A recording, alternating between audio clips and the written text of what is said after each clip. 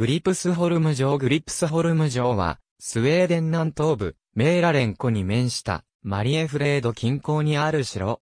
現在、国立絵画コレクションを収蔵している。16世紀の調度品がオリジナルのままで保存され、一般公開している。1380年頃、要塞として、ボーヨンソンにより建てられ、彼の一族が代々所有した。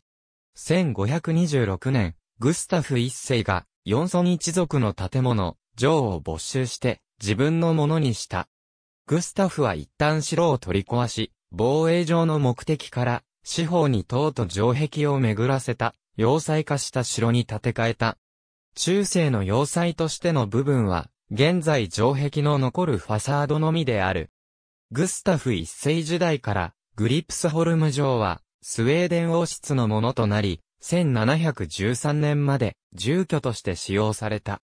1563年から1567年まで、エリク14世は、イボテン・ヨハンとその妻、カタジナを幽閉した。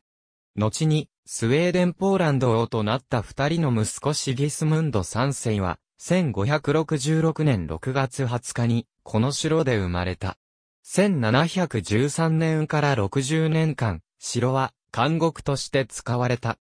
1773年、グスタフ3世は妻に代わって城を修繕した。劇場が加えられたのはこの時である。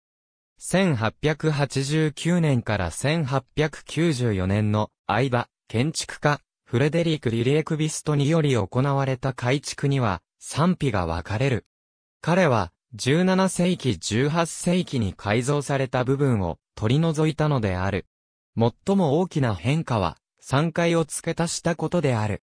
世界で一番美しい城、荘厳なる教会。ありがとうございます。